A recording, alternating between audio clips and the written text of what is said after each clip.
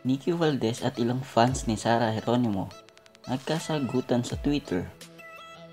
Isa ang aktres na si Nikki Valdez sa mga artistang vocal sa kanilang opinion patungkol sa kinahaharap na issue ng ABS-CBN matapos na mabasura ang prangkisa nito.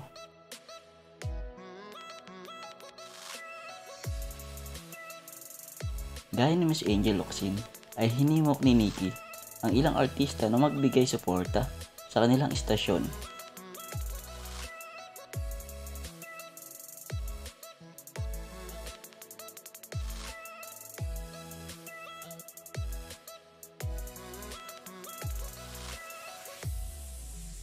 Dahil sa kanyang mga sinabi, marami ang fans ni Sarah o mga popstars ang nagtanggol sa kanya at sinagot nga si Nikki Valdez.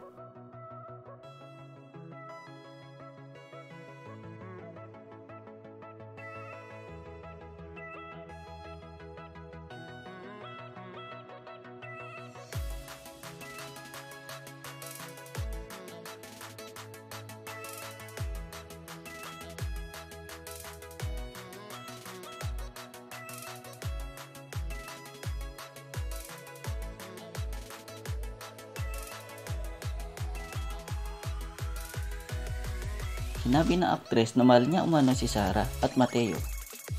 Hindi niya umano sinabi o binanggit ang pangalan ni Sarah.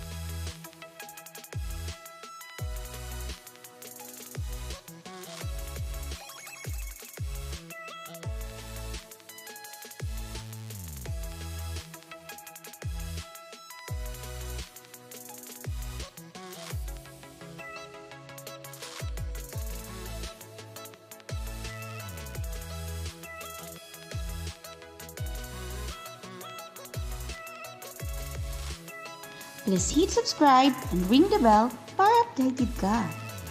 Dito ka na